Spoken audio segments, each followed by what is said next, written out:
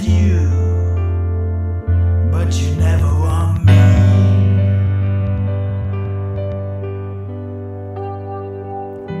So I,